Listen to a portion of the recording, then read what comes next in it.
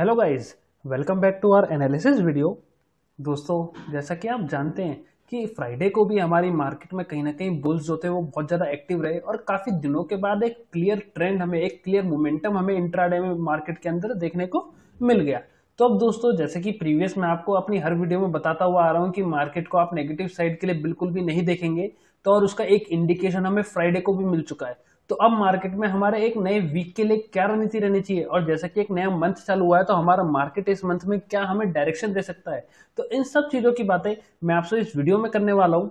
Video को दोस्तों बिल्कुल ध्यान से देखिएगा। और अगर आपने अभी तक हमारे चैनल को सब्सक्राइब नहीं करा है तो चैनल को सब्सक्राइब करना मत भूलिएगा।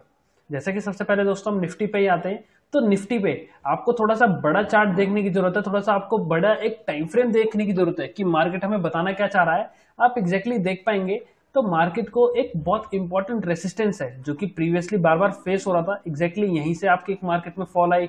एग्जैक्टली exactly इसी ट्रेंड लाइन की रिस्पेक्ट करते हुए मार्केट ने एक फॉल दी।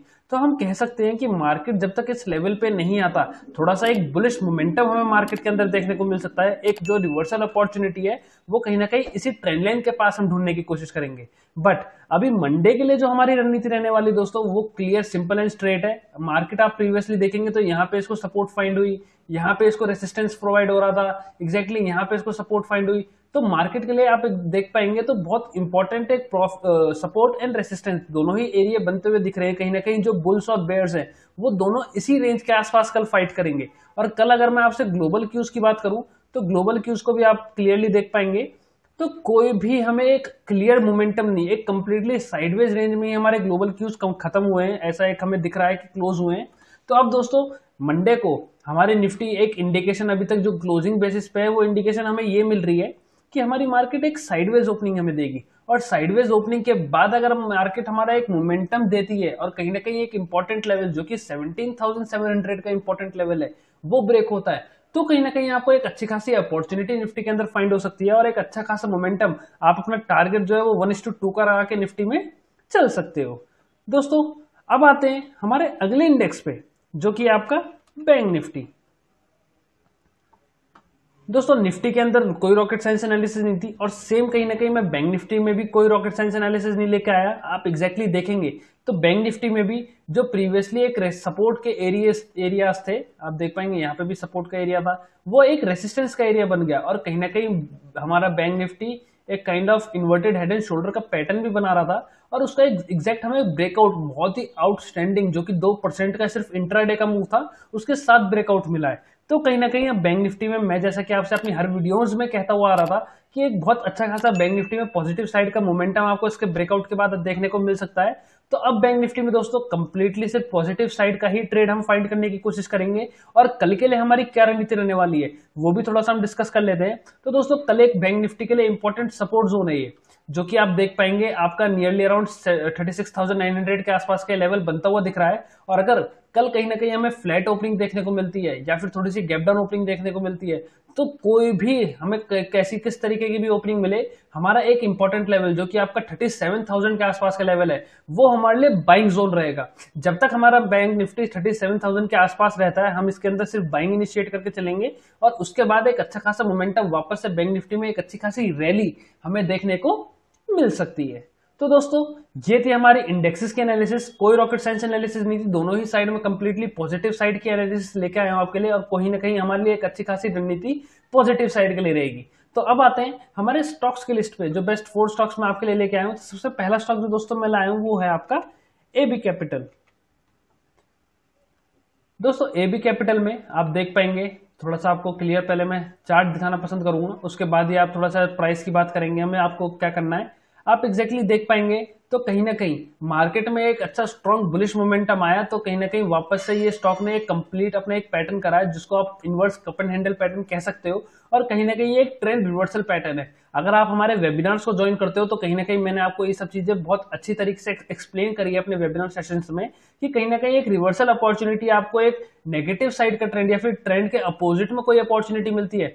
तभी फाइंड करने की कोशिश करनी चाहिए। और एग्जैक्टली exactly एक inverse inverse cup and handle का पैटर्न आपको देखने को मिल चुका है। और कल, अगर आपको एक इंपॉर्टेंट लेवल जो कि आपका 112.5 का लेवल है, इसका ब्रेकआउट देखने को मिलता है। तो कहीं ना कहीं आप मार्केट के अंदर जो अपनी एंट्री है, वो डायरेक्टली एग्जीक्यूट करके चल सकते हो। जिसमें जो आपका स्टॉप लॉस है, वो स्टॉप लॉस दोस्तों बिल्कुल ना के बराबर, जो कि आपका सिर्फ़ वन रुपीज़ का स्टॉप लॉस है, वो रहने वाला है। जिसके बदले में आपका जो टारगेट्स है, वो टारगेट्स आप काफ़ी बड़े रख के चलोगे। जो आपका फ़र्स्ट टारगेट है, वो कहीं ना कहीं 114 का लेवल रहने वाला है। और सेकंड टारगेट दोस्तों, मैं सिर्फ़ रिस्की ट्रेडर्स को ही सजेस्ट करूँगा कि कहीं ना कहीं रिस्की ट्रेडर्स ही अपना सेकंड टारगेट अचीव करके चले, वरना सेफ़ ट्रेडर्स फ़र्स्ट टारगेट ही अपना अचीव करके कंप्लीट एग्जिट हो सकते हैं।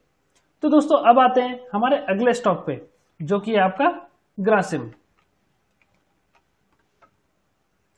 दोस्तों ग्रासिम की भी बात मैं आपसे करूँ तो ग्रासिम में भी कोई रॉकेट साइंस एनालिसिस नहीं है। आप थोड़ा सा पहले प्राइस एक्शन को समझने की कोशिश करिए कि कहीं ना कहीं मार्केट ने एक कप एंड हैंडल का पैटर्न बनाया। एक ट्रेंड रिवर्सल के पैटर्न बनाने के बाद एक बहुत अच्छा खासा ब्रेकआउट आपको देखने को मिला विद अ स्ट्रॉन्ग वॉल्यूम ठीक है? एक स्ट्रॉन्ग वॉल्यूम्स के साथ आपको ब्रेकआउट देखने को मिला बट मार्केट उसके बाद ब्रेकआउट के बाद एक कंसोलिडेशन रेंज में आ गई। और अगर कल हमें इसका ब्रेकआउट देखने को मिलता है है तो ये सिमेट्रिकल ट्रायंगल पैटर्न एक बायोलेटरल पैटर्न कहते हैं दोस्तों इसको। और अगर कल हमें इसका ब्रेकआउट देखने को मिलता है बट मैं नेगेटिव साइड की अपॉर्चुनिटीज़ में बिल्कुल भी ग्रैब नहीं करूँगा, क्योंकि कहीं ना कहीं जो सेंटीमेंट्स है वो मार्केट के अंदर बुलिश है। और कहीं ना कहीं मैं नेगेटिव साइड की ट्रेड एग्जीक्यूट करूँगा तो मेरा सिर्फ़ एस हिट हो सकता है, ऐसी एक हाई प्रोबेबिलिटी हो जाएगी। तो अगर कल ये मेरा ब्रेक करता है वन के लेवल को तो मैं कहीं ना कहीं इसमें अपनी एंट्री जो है वो डायरेक्टली एग्जीक्यूट करके चलूँगा, जिसमें जो मेरा स्टॉप लॉस है, वो स्टॉप लॉस मैं 1666 के लेवल पे लगा के चलने वाला हूँ। और जो मेरे टारगेट्स हैं दोस्तों, वो फ़र्स्ट टारगेट मेरा रहने वाला है 1685 के लेवल पे। और जो मेरा सेकंड टारगेट है, वो सेकंड टारगेट मैं 1692 के अराउंड लगा के चल सकता हूँ। तो आई होप दोस्तों, आपको ग्रासिम की एनालिसिस क्लियरली समझ आएगी तो अब आते हैं हमारे अगले स्टॉक पे, जो कि आपका इंद्रप्रस्थ गैस लिमिटेड दोस्तों आईजीएल की बात मैं आपसे करूँगा तो आईजीएल में आप देख पाएँगे तो कोई भी मोमेंटम आपको देखने को नहीं मिल रहा। अगर मैं आपको एनर्जी सेक्टर्स की बात करूँ तो थोड़ा सा एनर्जी सेक्टर्स को मैं आपको दिखाऊँगा क्लियरली आप एग्जैक्टली देख पाएँगे सॉरी जी।